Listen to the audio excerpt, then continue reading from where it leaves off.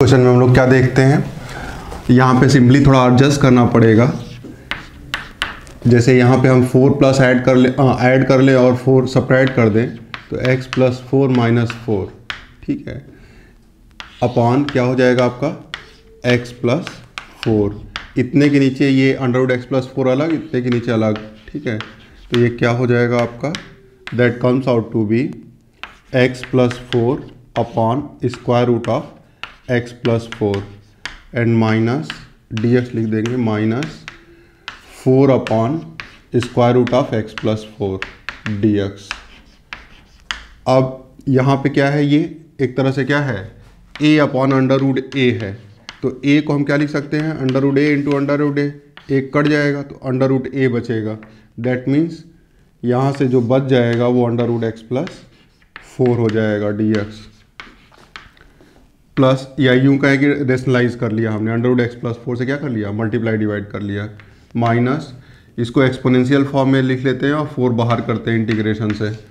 तो ये हो जाएगा आपका एक्स प्लस फोर की power minus one by two minus क्यों आया? है क्योंकि ये डिनोमिनेटर में था। न्यूमिनेटर में लिखेंगे तो माइनस आ जाएगा।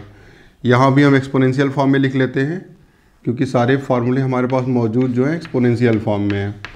अब ये चीज़ क्या हो गई? ये हमारा हो गया। ये एफ़ एक्स है पावर एन है और एफ़ डैश एक्स इसका डेरिवेटिव कितना आएगा? वन आएगा। तो वन ऑफ़ कोर्स यहाँ पे हम लोग रियलाइज़ कर सकते हैं कि ये वन है। तो ये हमारा एफ़ एक्स है। ये हमारा क्या हो गया? एफ़ डैश एक्स हो गया और ये पावर एन है। ठीक है? इसी तरह से यहाँ पे भी सोच सकते हैं कि ये एफ़ एक्स है और ये उसका डेरिवेटिव है। तो हम स्टैंडर्ड फॉर्म जो हमें पता है वो लगा देते हैं। तो क्या हो जाएगा आपका?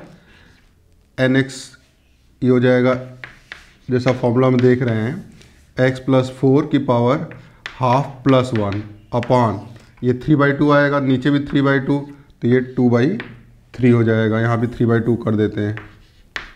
माइनस फोर और यहाँ पे क्या हो जाएगा आपका?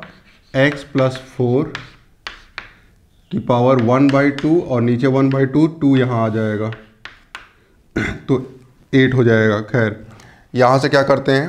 अंडर रूड ये under root X plus four है। यहाँ पे इसको अलग अलग कर सकते हैं।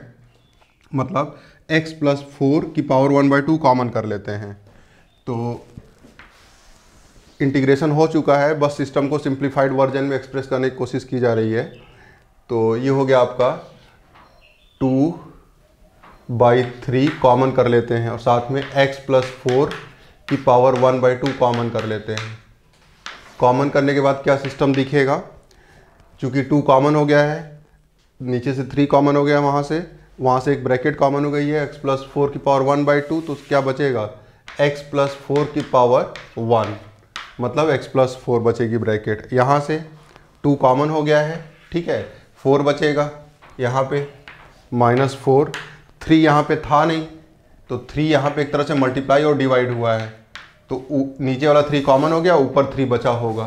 तो नीचे थ्री हो गया। और ये तो कॉमन हो ही चुका है तो सिर्फ़ इतना बचा।